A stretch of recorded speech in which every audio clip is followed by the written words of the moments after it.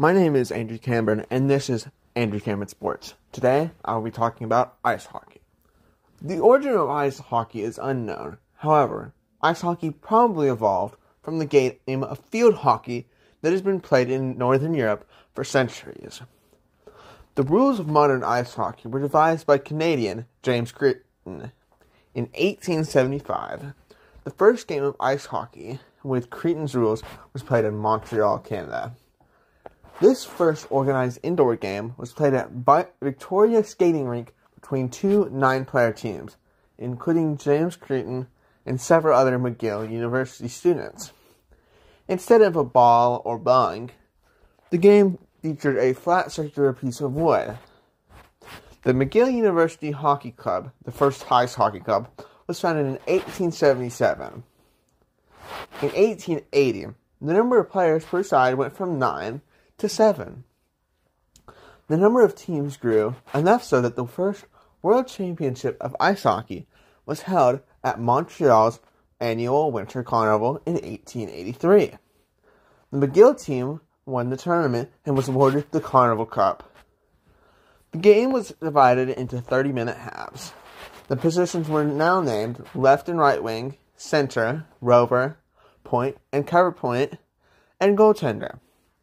In 1886, the teams competing at the Winter Carnival organized the Amateur Hockey Association of Canada and played a season comprising of challenging the existing champion. In 1888, the Governor General of Canada, Lord Stanley of Preston, first attended the Montreal Winter Carnival tournament and was impressed with the game. In 1892, he saw that there was no recognition for the best team in Canada, so he purchased a silver bowl for use as a trophy. The Dominion Hockey Challenge Cup, which later became known as the Stanley Cup, was first awarded in 1893 to the Montreal Hockey Club, champions of the AHAC. It continues to be awarded na- annually to the National Hockey League Championship team. Stanley's son Arthur helped organize the Ontario Hockey Association, and Stanley's daughter Isabel was one of the first women to play ice hockey. Today, ice hockey is an Olympic sport and the most popular team sport played on ice. Ice hockey is played with two opposing teams wearing ice skates. Unless there's a penalty, each team only has six players on the ice rink at one time. The puck is a vulcanized rubber disc. The aim of the game is to knock the hockey puck into the opposing team's net, which is guarded by a special player called goalie or goaltender. The first artificial ice rink was built in 1876 at Chelsea, London, Chelsea, London, England, and was named the Glaciarium. It was built near the King's Road uh, uh, in London by John Gamgee. Today, modern ice rinks are kept clean and smooth by the use of a machine called the Zamboni.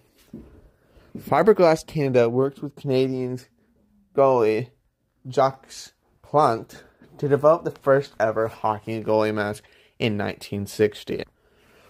Uh, the beginning of hockey in America, uh, in specifically the United States, is really centered on the uh, organization of the National Hockey League. But that was not the first uh, hockey league in the U.S. That was the predecessor league, the National Hockey Association, which was created in 1917. After unsuccessfully attempting to resolve disputes with Eddie Livingstone, owner of the Toronto Blue Shirts, executives of the three other NHA franchises suspended the NHA and formed the NHL replacing the Livingstone team with a temporary team in Toronto, the Arenas. The NHL's first quarter century saw the league compete against two major rival major leagues, the Pacific Coast Hockey Association and Western Canada Hockey League, for players in the Stanley Cup.